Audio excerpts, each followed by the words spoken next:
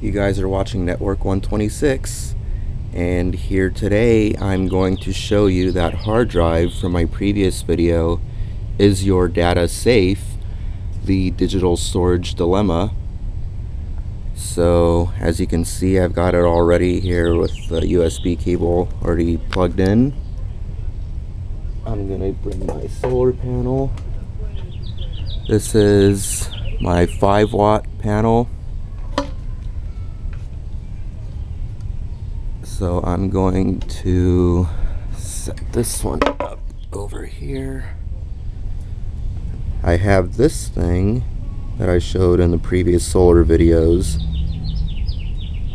Gives me a couple USB ports. So this I can actually plug into that.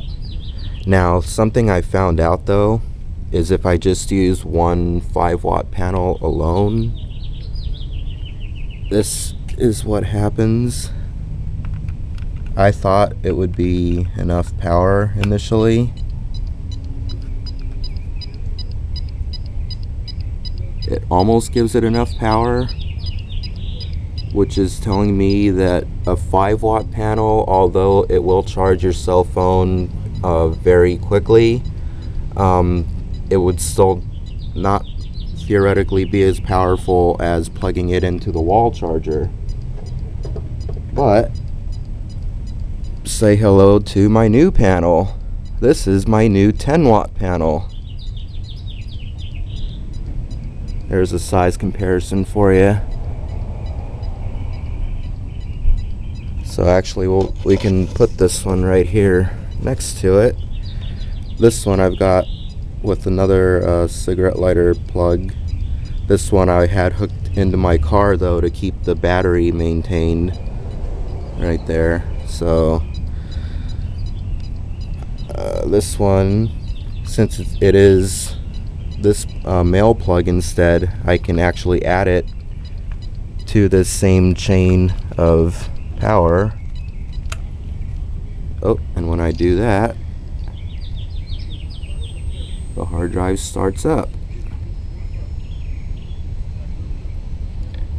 There it goes. So we've got about 15 watts feeding that right now. Running into my little power junction here. Running up via USB into a USB to SATA reader. Thanks for watching Network 126. If you found this video very enlightening, which I'm sure you probably did, don't lie. you know you think this is cool. Um, subscribe to my channel. And if anybody out there can afford to pitch me a few bucks to help me out as I am unemployed, can't even get a stable job flipping burgers in this economy, and yet I can do all this cool stuff. Anyway, adios.